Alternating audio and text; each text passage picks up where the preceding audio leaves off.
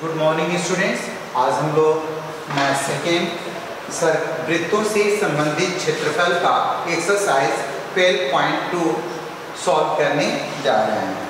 वृत्तों से संबंधित क्षेत्रफल में आपको मालूम है कि वृत्त का क्षेत्रफल बराबर होता है, वृत्त का क्षेत्रफल बराबर पाई आर स्क्वायर वृत्त के क्षेत्रफल का फार्मूला क्या होता है? पाई आर स्क्वायर दूसरा होता है त्रिज्य खंड का क्षेत्रफल। त्रिज्य खंड का क्षेत्रफल ये बराबर होता है theta by 360 pi R square लघु वृत्त खंड का क्षेत्रफल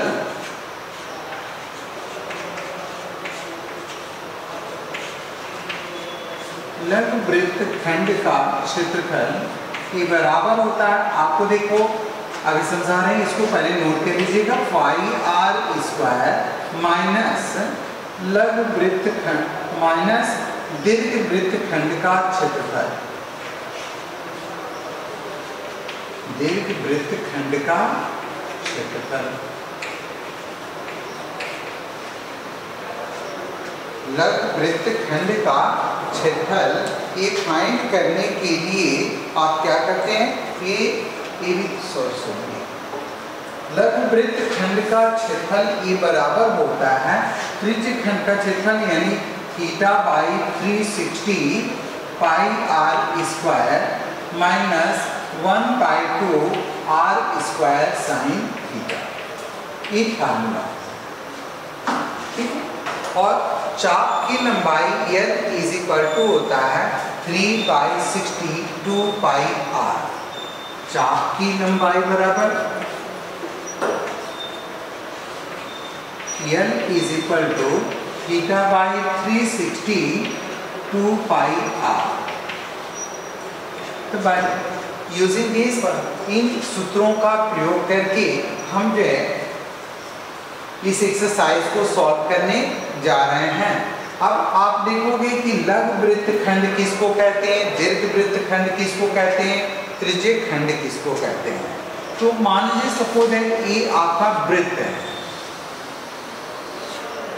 तो वृत्त में जो है, अगर कोई यहाँ से जीवा खींच दी जाती है तो यह वृत्त को ये जीवा क्या करती है, वृत्त को दो भागों में बांट देती है तो जो छोटा खंड होता है, ये छोटा खंड ही बड़ा खंड है। तो इस छोटे वाले खंड को हम जो है लघु वृत्त खंड या माइनर सेक्टर बोलते हैं।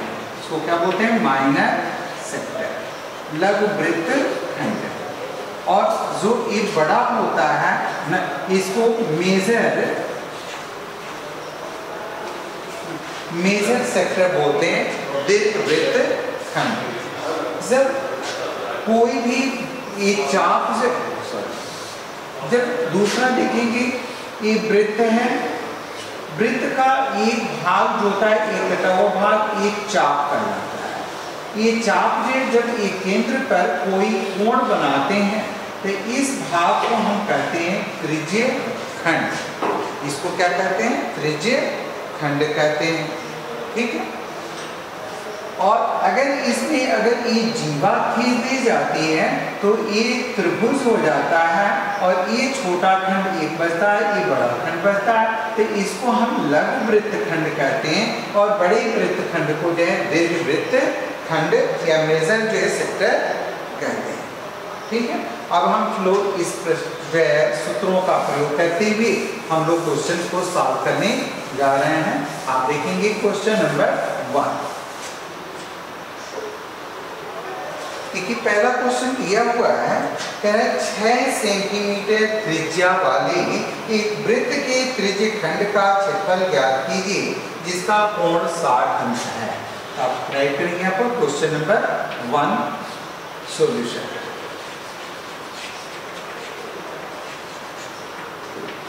given क्या क्या चीज़ दिया हुआ है? छह सेंटीमीटर त्रिज्या दिया हुआ है। तो आर को त्रिज्या कहते हैं रेडियस सिक्स सेंटीमीटर। और क्या दिया है? कोण दे रहा है 60 अंश। कोण को थीटा से निरूपित करते हैं तो थीटा इक्वल है 60 डिग्री। तो कह रहे हैं इसके त्रिज्य खंड का क्षेत्रफल ज्ञात कीजिए। तो त्रिज्य खंड का क्षेत्रफल ज्ञात करने के लिए हमने आपको फार्मूला बताया है कि त्रिज्य खंड का क्षेत्रफल बराबर होता है theta by three sixty pi R square तो आप यहाँ पर लिखोगे कि अतः त्रिज्य खंड का क्षेत्रफल बराबर।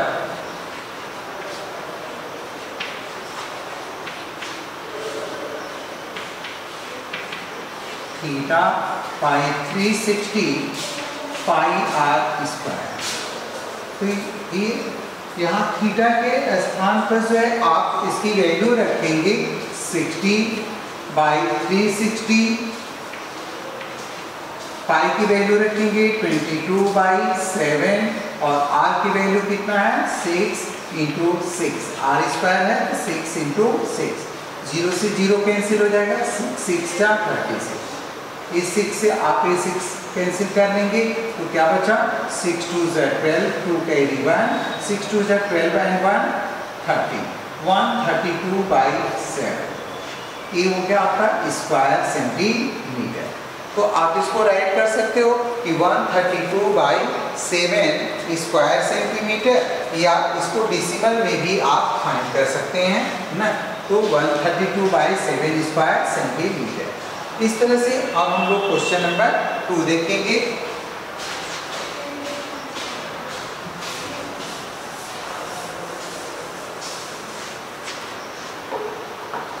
क्वेश्चन नंबर टू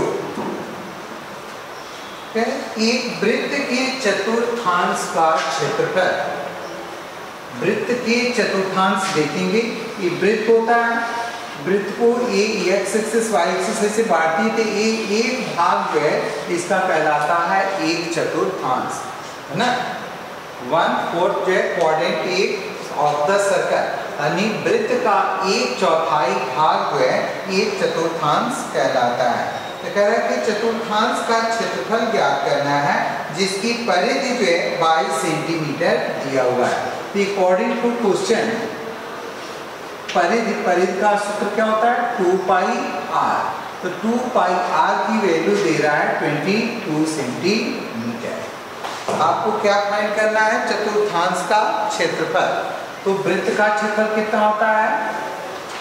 वृत्त का क्षेत्रफल होता है पाई आर स्क्वायर जब आपको चतुर्थांश का ज्ञात करना होता है, चौथाई भाग का तो वन बाई फोर कर देंगे। ठीक है? एक तिहाई भाग का ज्ञात करना होगा तो वन बाई थ्री कर देंगे। आधे का ज्ञात करना होगा तो वन बाई टू कर देंगे। तो इस तरह से एटी क्यू दिया हुआ है according to question two pi R equal to twenty two centimetre तो आप जानते हो चतुर्थांश का क्षेत्रफल बराबर होता है one by four pi R square.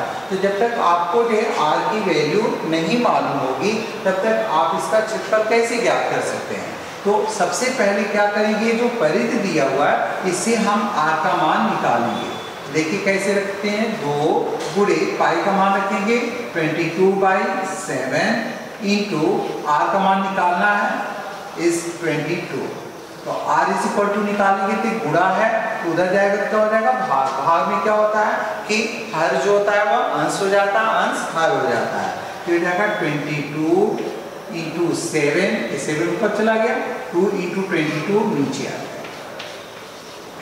तो 22 से 22 कैंसिल हो जाएगा तो आर की वैल्यू आ गई सेवन बाई टू सेंटीमीटर जब आर निकल गया तो आप यहाँ पर लिख सकते हो, अतः चतुर्थांश का क्षेत्रफल बराबर। चतुर्थांश का क्षेत्रफल के बराबर होता है one by four pi R square. Equal one by four, pi का मान ट्वेंटी टू बाई सेवन, और आर का मान है seven by two into seven by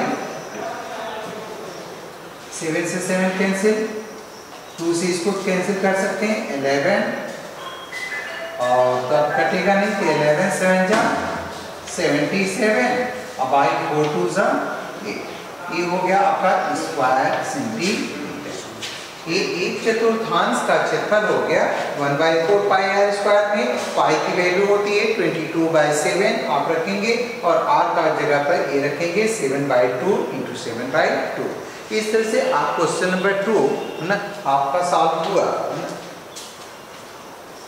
अब question number three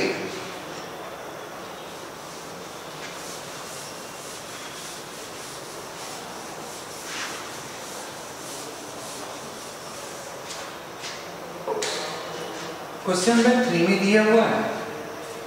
एक मिनट की सुई जिसकी लंबाई 14 सेंटीमीटर है। तो ये मान लीजिए घड़ी है तो घड़ी में ये मिनट की सुई होती है तो ये मिनट की सुई को हम क्या कर सकते हैं? रेडियस कर सकते हैं। रेडियस ऑफ़ द है सर्कल इस वृत्त का जो है, यह रेडियस होता है। अकॉर्डिंग टू क्वेश्चन हम लिख सकते हैं, घड़ी की सुई की लंबाई।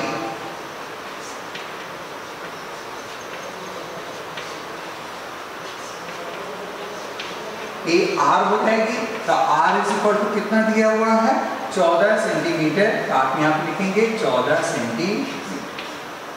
और क्या दिया हुआ इस सुई द्वारा पाँच मिनट में रचित क्षेत्रफल ज्ञात करना है। पाँच मिनट में रचित क्षेत्रफल ज्ञात करना है। तो आप जानते हो कि घड़ी को जो एक चक्कर पूरा लगाने में जो उसको ना, साठ मिनट में सुई द्वारा एक चक्कर पूरा होता है। तो आप इसको राइट कर सकते हो कि चूँकि 60 मिनट में 60 मिनट में सुई द्वारा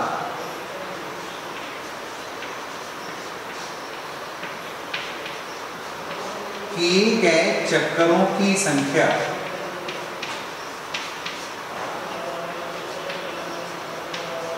चक्करों की संख्या। कितनी होगी? वन। ठीक है? तो ये एक चक्कर पूरा करती है सात मिनट में। तो एक मिनट में कितने चक्कर पूरा करेगी? तो ये हो जाएगा वन बाई सिक्सटी। इसलिए कितने मिनट में पूछ रहा है? पाँच मिनट में। तो पाँच मिनट में किए गए चक्करों की संख्या हो जाएगी फाइव बाई सिक्सटी चक्कर। तो प्रश्न क्या पूछ रहा है? ना, हमको दे इसकी त्रिज्य खंड का क्षेत्रफल ज्ञात करना है। तो त्रिज्य खंड का क्षेत्रफल बराबर होता है theta by three sixty pi R square तो आर की वैल्यू पाई की वैल्यू आपको मालूम है थीटा की वैल्यू अभी आपको नहीं मालूम है। कि कितने अंश का कोण बनाएगा। तो मान लीजिए कि ये मिनट की सुई इस तरह से चलती है तो पाँच मिनट में कितनी दूरी ये तय करेगी इसको हमको निकालना होगा। तो आप जानते हो पूरा वृत्त कितने अंश का कोण बनाता है? 360 अंश का। तो 360 अंश का कोण बनाने के लिए हम यहाँ पर लिखेंगे कि 5 बाई सिक्सटी चक्कर में, चक्करों में, है ना? बनी कोण का मान। बनी कोण का मान। तो कितना हो जाएगा? Theta is equal to five by sixty और इंटू हो जाएगा थ्री सिक्सटी क्योंकि पूरी वृत्त का क्षेत्रफल जो होता है, तीन सौ साठ अंश का होता है। तो छः आया छः का पाँच में गुणा कर दिए छः पच्चीस तीस तो जब तीसरा थीटा भी मालूम हो गया तो यहाँ पर लिखेंगे क्या प्रश्न पूछ रहा है? सुई द्वारा पाँच मिनट में रचित क्षेत्रफल ज्ञात कीजिए तो लिखेंगे यहाँ पर पाँच मिनट में रचित क्षेत्रफल बराबर क्षेत्रफल बराबर theta by three sixty pi R square. तो थीटा का मान आप रख देंगे, तीस बटे तीन सौ साठ गुड़े बाईस बटे सात। आर का मान रखेंगे कितना है? आर चौदह चौदह गुड़े चौदह। एक कट जाएगा, तीन नौ तीन एकम तीन तीन दूनी छः बारह आया, ज़ीरो ज़ीरो कैंसिल। अब इसको बारह को काट देंगे तो कितना आया था देखिए?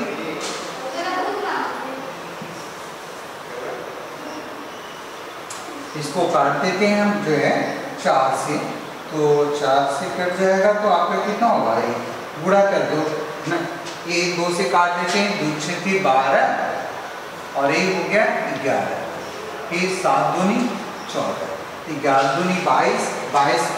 ये फिर कट जाएगा, देखिए द्वितीय छः तो ये हो जाएगा चौदह गुड़े ग्यारह आप कर देंगे एक सौ चौवन, और बटे हो जाएगा तीन वर्ग सेंटीमीटर। ये आपका क्षेत्रफल ठीक है तो सबसे पहले आपको क्या ज्ञात करना है? घड़ी की सुई की जो लंबाई है, ये लंबाई ही जो है, इस घड़ी की क्या होगी? त्रिज्या होगी। तो इसको आर मान लेंगे। उसके बाद प्रश्न है कि पाँच मिनट में कितने चक्कर करेगी? तो आप जानते हो कि मिनट की सुई एक पूरी भी एक चक्कर लगाती है तो साठ मिनट लगते हैं। तो 60 मिनट में सुई द्वारा किए गए चक्करों की संख्या होगी एक पाँच मिनट में पाँच बटे साठ तो पाँच बटे साठ चक्करों में कितने अंश का कोण बनाएगी। पाँच बटे साठ गुड़े तीन सौ साठ थीटा का मान मालूम हो जाएगा। उसके बाद रचित क्षेत्रफल ज्ञात करना है। तो त्रिज्य खंड का क्षेत्रफल जैसे आप फाइंड करते हो, theta by three sixty by R square इस फार्मूले से हम इसका क्षेत्रफल ज्ञात करते हैं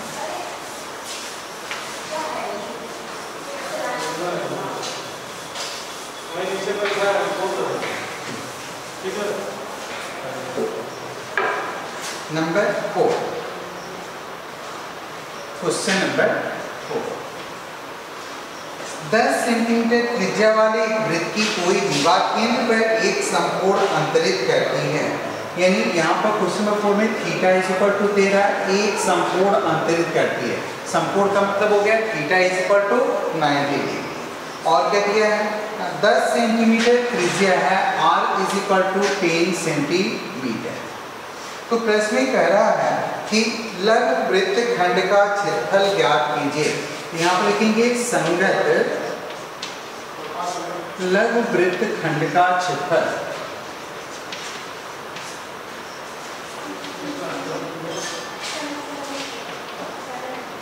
क्षेत्रफल बराबर होता है theta pi 360 pi r square minus one by two r square sine theta तो इस फार्मूले से आप थीटा का मान क्या रखेंगे? 90 बाई थ्री सिक्सटी पाई का मान दिया है। तीन दशमलव एक चार रखना है।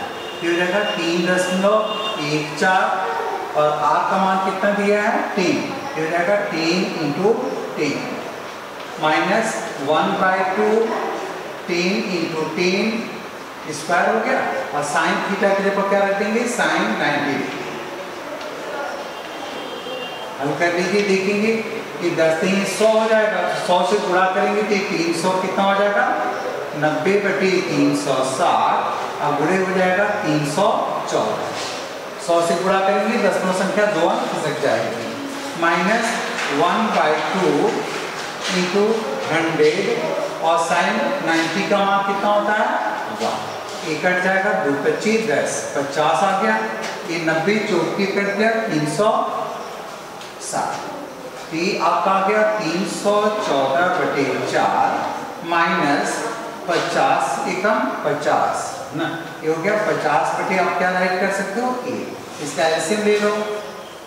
ये हो तीन सौ चौदह माइनस एक चौके चार चार से पाँच टुकड़ा दिए चार पच्चीस दो सौ।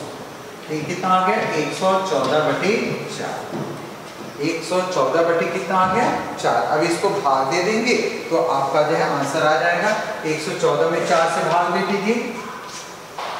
फोर टू ज़ा eight three thirty four four eight thirty two two remain zero. Decimal लगाएँगे, फोर फाइव ज़ा twenty eight point five equal twenty eight point five square centimetre ये हो गया आपके संगत लघु वृत्त खंड का क्षेत्रफल। दूसरा ज्ञात करना है संगत दीर्घ वृत्त खंड का क्षेत्रफल। दूसरा इसमें क्या ज्ञात करना है? दीर्घ वृत्त खंड का क्षेत्रफल। तो आप यहाँ पर राइट करोगे कि दीर्घ वृत्त खंड का क्षेत्रफल।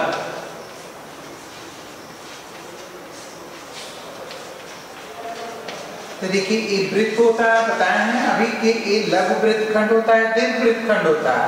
तो अगर इस लघु वृत्त खंड का क्षेत्रफल निकल गया तो अगर हम पूरे वृत्त के क्षेत्रफल में से ये लघु वृत्त खंड का क्षेत्रफल घटा दें तो ये दीर्घ वृत्त खंड का क्षेत्रफल निकल जाएगा। तो ये हो जाएगा आपका वृत्त का क्षेत्रफल पाएगा जिस पर और इसमें से माइनस कर देंगे लघु वृत्त खंड का क्षेत्रफल। लघु वृत्त खंड का क्षेत्रफल।